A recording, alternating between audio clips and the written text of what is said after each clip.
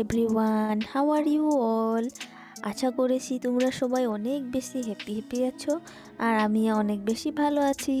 তো বন্ধুরা, আজকে আমি একটা স্পেশাল জিনিস বানাবো। তো এটা আমার লাইফের ফার্স্ট বানানো হবে এটা।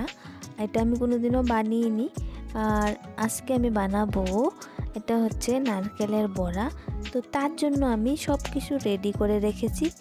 এখানে আছে নারকেল তারপর এখানে রেখেছি পেঁয়াজ কুচি কালো জিরে লবণ হলুদ আর লঙ্কা দিইনি।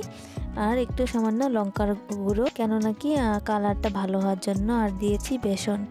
তো এখানে যে চালের গুঁড়া দিতে হয় সেটা আমি জানতাম না। মা আগে বানিয়ে খাইয়েছে আমাদের বাট এটা আমি জানতাম না যে চালের গুঁড়া দিতে হয় নয়তো জিনিসটা শক্ত মুসমুসে হয় না। তো আমি এভাবেই বানিয়ে ফেলেছি।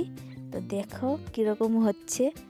তো এখানে, এখান অবধি তো আঠা আঠা দেখা যাচ্ছে, সুন্দর আঠা হচ্ছে। বা যেই কড়াইয়ে দিলাম, প্রথমটা তো ভেগেই গেল। বা পরেরটা একটু আস্তে করে দিয়েছি। তো সুন্দর করে বড়াগুলো কমপ্লিট হয়ে গিয়েছে। তো বন্ধুরা, আমার বড়াগুলো জেনে তেনে করে এই দেখো ভেজে নিলাম কমপ্লিট করে নিলাম।